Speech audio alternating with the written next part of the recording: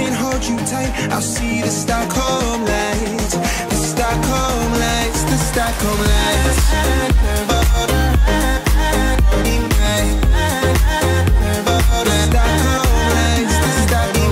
Do you want a watermark like this? If you do, keep watching. But first, make sure to comment down below melon two or three times. So, first, screenshot this photo and add it to a project. Make sure to delete the CapCut ending. Next, type it then your username. So, mine would be at OctoXplayz. Next, go to shadow and adjust the settings to your liking. If you're not sure, copy my adjustments. Now screenshot it. Make sure you clicked off the text editor. Crop it to fit, then save it to photos.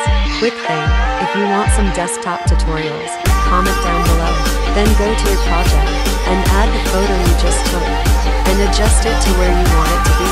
Now click blend, then choose overlay, then click cutout, then chroma key. Move the chroma key to the green background. Then slide intensity and shadow to 100. Then move it to where you like. I hope this helped. Comment down below suggestions for the next tutorial and turn on post notifications.